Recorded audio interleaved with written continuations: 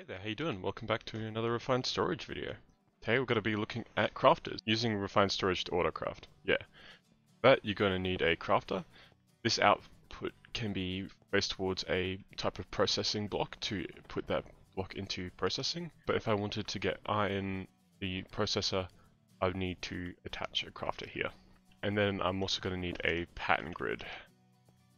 Pattern grids are going to allow us to craft a certain thing. You're also going to need actual patterns. So we're going to do exact. So this is going to be the exact item. I'm going to need exactly 9 cobblestone to make one compressed. I can take that, pop that into a crafter that's not facing anything. So now when I go to my grid, the compressed cobblestone crafting option is going to come up. And that's going to, so I want to say, I want to make 10 compressed cobble. That's going to show how much cobblestone I need. So I'm going to need 90. It's going to craft that for me. It does it pretty quickly. There you go. 10 compressed cobble. When a crafter is facing an object, you can then, it unlocks the processing.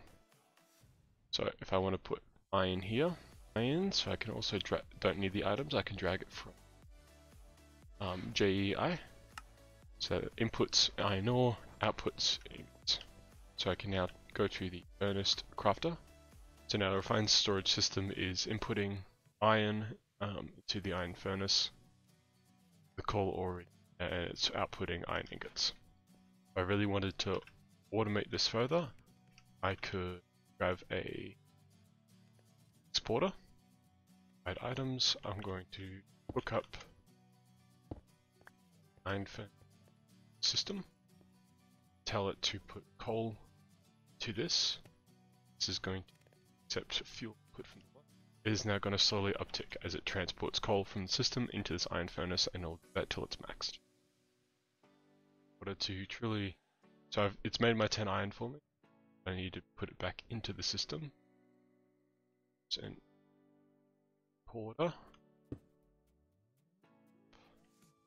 Now that's going to drain system. And now I have my 10 iron. And that's... And I can do that pretty much forever. Can get incredibly complex because it reads itself. So if I want to set this to make automatically make iron pickaxes, I would take a pattern, I'd put it, take a pattern, make it here, make it there, I'd either have sticks or I'd have another pattern to make sticks out of oak planks, and they will daisy chain off each other. That's how you, it's the long way of using Autocrafter, or a crafter. I hope you found this video useful, and see you the rest of your day with a smile.